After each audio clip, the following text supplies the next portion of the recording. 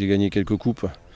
Euh, on va essayer de faire des matchs de coupe et puis d'en gagner le plus possible pour arriver le jour de la finale, le dernier match, euh, en, rester en national. Voilà, c'est l'unique but de ma venue et est-ce que ça va servir à quelque chose? Il n'y a que, l'avenir qui, le dira. Je me rends compte que, pour une fois, les, problèmes ne viennent pas de, ni, de la direction, ni des actionnaires et que ça vient que du terrain.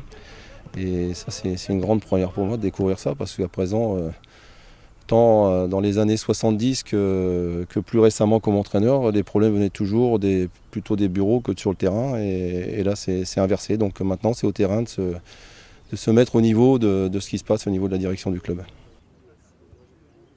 Le coach du Guépérou est, est venu à beaucoup de matchs et nous a dit qu'il ne sentait pas cet esprit d'équipe. Donc euh, retrouver ça au plus vite pour vendredi et puis essayer d'avoir une idée de jeu bien précise et on va bosser, on va bosser, on va pas lâcher. Hein. Il reste quand même il reste 8 matchs donc voilà. J'ai tout de suite appelé Jackie Duguay-Pérou parce que je pense qu'il fallait qu'on trouve une solution immédiatement opérationnelle. Quelqu'un qui connaît le club, qui connaît les rouages, qui connaît, qui a l'expérience, qui a une légitimité. Et évidemment que Jackie a toutes ces qualités-là et, et c'est pour ça que ça allait très vite. C'est la vie d'un club. Tout simplement, François, personne ne pourra lui prendre le travail qu'il a réalisé. Il a été là après la liquidation, il a fait monter l'équipe deux fois dans des conditions extrêmement difficiles. Il a fait deux ans, trois quarts ici. C'est beaucoup pour un jeune entraîneur. Après, malheureusement, il y a une spirale sur six matchs euh, qui a été très difficile à gérer.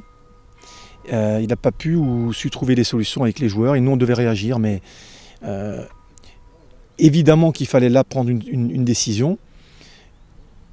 Évidemment que François a fait du bon travail et, la vie s'arrête pas là, on en aura besoin au club ou un jour ailleurs. Je ne me fais pas de soucis pour son avenir.